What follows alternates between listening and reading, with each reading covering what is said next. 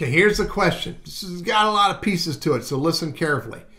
If someone sends you an email message and they blind carbon copy someone else, when you reply to that email message, is the person who was blind carbon copy going to get your reply? Let's set this up.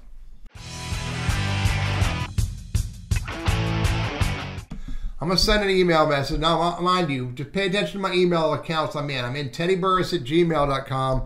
I'm going to send an email message to BCI Testing, which is Burriss Consulting at Gmail.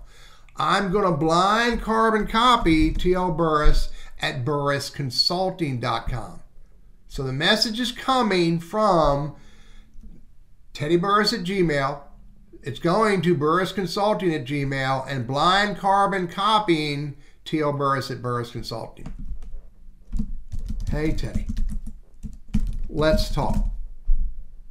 Let's see what happens. Here's the message I sent again from Teddy Burriss at Gmail to BCI or Burriss Consulting at Gmail and blind carbon copied Teddy T.L. Burriss at Burriss Consulting. Let's go look at the BCI.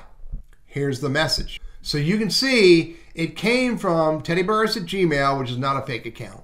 It got sent to burrissconsulting at gmail.com. And remember, T.L. Burriss at burrissconsulting.com was blind carbon copied. This guy doesn't know it. So the question is, if you respond back to this, will it also go to the person who was blind carbon copied? Let's set it up and test. I'm gonna hit reply. By the way, I can't hit reply all. So it's not it, the system thinks there's only one email address here.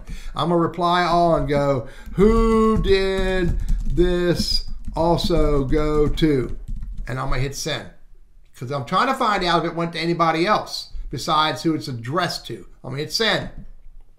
Let's go look at who it went to right here. Boom, here it is right here. This is the email message that got sent out to Burriss Consulting, blind carbon copy, TL Burriss at Burriss Consulting. And this, and it got, and BCI responded back right here. BCI responded back and it came to Teddy Burriss at Gmail. That's where I am. And look, it didn't go to anybody else. That's only person it went to. And there's that question, who did this also go to? The response is, uh, nobody. But let's go look at the TL Burriss at Burriss Consulting, the blind carbon copied email. Here it is. This is the blind carbon copied. This is where, you know, TL Burriss at Burriss Consulting, that's where I am right now. TL Burriss at teddyburriss.com or Burriss Consulting. It, it got sent from Teddy Burriss at Gmail to Burriss Consulting at Gmail, and there's where TL Burriss is blind copied, blind carbon copy, but he did not get the email from BCI where he sent back the message said, who else did this go to? Bottom line, if someone sends you an email and they blind carbon copy anyone, when you reply back to that message that was sent to you, the people who were in the BCC line will not get your reply.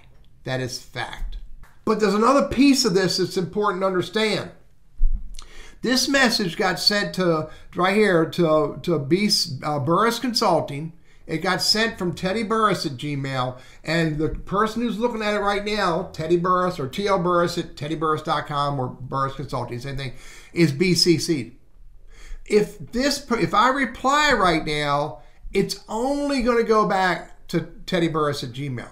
But look at this. You got to be aware of this. If I reply all, it's going to go not only to Teddy, uh, Teddy Burriss at Gmail, but also Burriss Consulting at Gmail, right here, both of them. But I'm replying all, and this guy doesn't know I got the message.